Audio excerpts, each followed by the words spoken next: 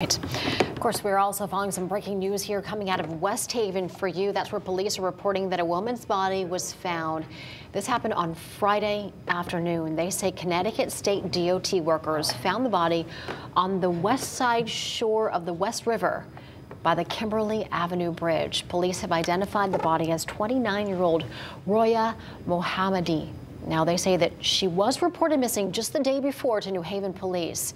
No word on a cause of death here. We will stay on top of this story and bring you more information as it comes into the newsroom. And we'll, of course, no doubt have more on it throughout the day.